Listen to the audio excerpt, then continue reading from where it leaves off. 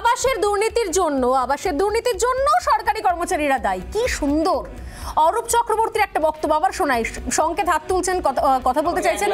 আমি সবার কাছে আসব। অরূপ চক্রবর্তীর আরও একটা বক্তব্য যখন আবাসের দুর্নীতি দিকে দিকে ঘর চুরি ছেয়ে ছেয়ে গেছে ছয় লাখ চুরির একটার পর একটা ঘটনা সামনে আসার পর। তখন অরূপ চক্রবর্তী কি বলছেন? কাদের জন্য চুরি গেছে? কাদের জন্য ছাদ চুরি গেছে? শুনুন। গরিব মানুষ ঘর পাক এটা আমরা চাই। কোনো দোতলা ঘরের মালিক যদি ঘরের টাকা পায় সে বিডিও চাকরি থাকবে না। আমি বিধানসভায় দাঁড়িয়ে সেই অফিসারের বিরুদ্ধে দোতলা ঘরের মালিককে বাড়ি দিয়েছে বলে তার বিরুদ্ধে অভিযোগ তুলে তাকে সরকারি পদ থেকে আমরা তাড়িয়ে দেওয়ার ব্যবস্থা করব। বোঝা গেল তাহলে?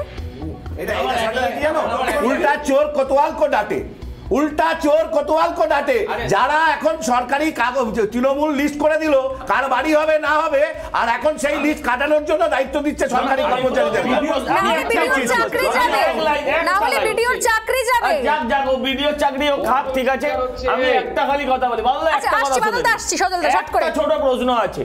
মমতাদি বাহাত্তরটা প্রকল্প করেছিলেন এবং করবেন তিনি জানতেন আমি শুধু বলি নির্বাচনের আগে দু হাজার এগারোর সময় তিনি কি দাবি করেছিলেন?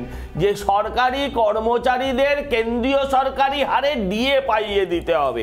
শুধু এইটা বলে ইস্তেহারে ছিল। বাদলদা বাবুল ওই দলে ছিল না জানে না। হ্যাঁ এবার একটু বলি। বলুন সংকেত এই যে- বলুন। এই যে এই যে উনি অরূপ বাবু বললেন না যে ওই ভিডিও চাকরি খেয়ে নেবেন?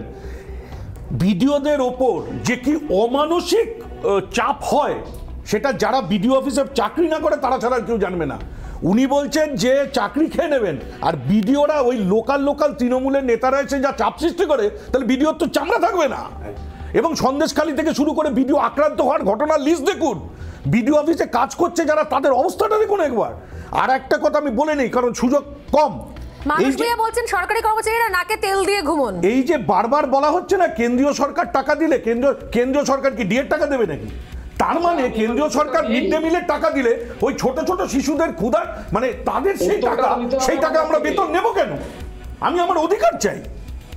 আমি অন্য স্কিমের টাকা আমি নেব কেন? আমার এটা প্রাপ্য। একদম ইধার কামাল উধারের সরকার চলছে বাদল বাবু। কেন আমরা নেব? পাক্কা আপনাদের সরকারটা চলছে ইধার কামাল উধারে পাঠাচ্ছেন। যে কোনো জায়গার টাকা থেকে রাজ্য সরকারি কর্মচারীরা তা দিয়ে চাইছে না তারা তাদের প্রাপ্য অধিকারটুকু চাইছে। একটা প্রভিশন আছে আপনারা সুপ্রিম কোর্টে কোটি কোটি টাকা খরচা করছেন বড় বড় লাইয়া বাবা, দাঁড় করাচ্ছেন কাদের টাকা? এগুলো তো জনগণের টাকা। সেই টাকাগুলো নষ্ট করছেন ওখানে গিয়ে। আর এখানে বলছেন অধিকার।